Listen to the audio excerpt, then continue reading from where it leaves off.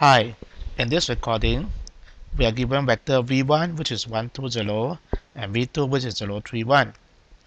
And now we're also given a subspace W consists of x, 2x plus 3z and z of R3. In part B, we have found an orthogonal basis for the subspace W that contains v1. Now, given a vector u which is 3 minus 2, 4, we are going to find an orthogonal projection of u onto W. Now let's recall that in part B, we have already found the orthogonal basis of W consists of W1, W2, which is 1, 2, 0, minus 6, 3, 5. Next, we're going to recall what is meant by orthogonal projection. In David Lay's linear algebra and its application, section 6.3, page 411. If W is a subspace of Rn, and Y is a vector in Rn, then it can be expressed uniquely in the form of Y equal to Y cap plus Z. Y cap is in W. Z is a vector orthogonal of W. In fact, if you want the UP is any orthogonal basis of W, then Y cap will be a linear combination of U1 to UP according to this manner and this y cap here is called the orthogonal projection of y onto W. To understand this geometrically, let me show you the picture. I have the vector W1 and W2 which are orthogonal and a vector in space y. Now this vector y can consider the projection of y onto W2 so I have a projection of y onto W2.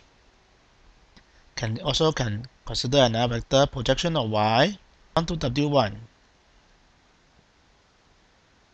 So I have two vectors. One of them is projection of y onto W1. Another one is projection of y onto W2. Now the projection of y into a plane spanned by W1 W2 is the sum of these two vector. So that what you get now this vector here is the projection of y onto the plane spanned by w1 and w2 so this is a vector y cap here in the notes in general notation this y cap here is a projection of y onto w. And this y cap here it actually the sum of these two vector. So now our u is 3 minus 2, 4.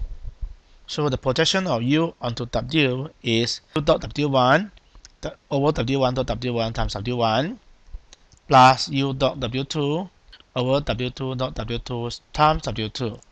Let's do the calculation here. Now u is 3 minus 2, 4 W1 is 120, W2 is minus 635. So U dot W1 consists of 3 times 1, you get 3, and minus 2 times 2, you get minus 4, and 4 times 0, you get 0. This is equal to minus 1. And U dot W2 in this case, I have 3 times minus 6 and minus 18 plus minus 2 times 3 I got minus 6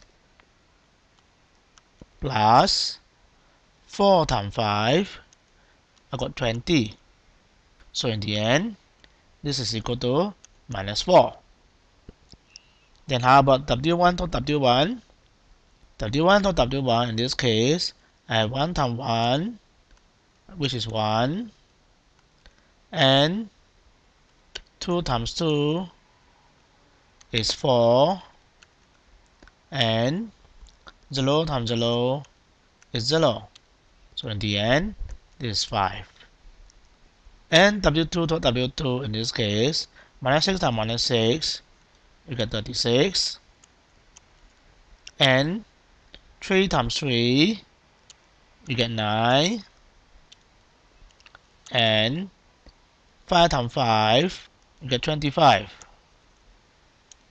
altogether this is 70 projection of u to w. In our book notation we call this u cap by David Lay notation. So pulling u dot w1 is minus 1 w1 dot w1 is 5 w1 is 120 u dot w2 is minus 4 w2 dot w2 is 70 and w2 is minus 635 add together this is 1 over 7 times 1 minus 4 and minus 2 and so this is the projection of u into a space w. That's the end of recording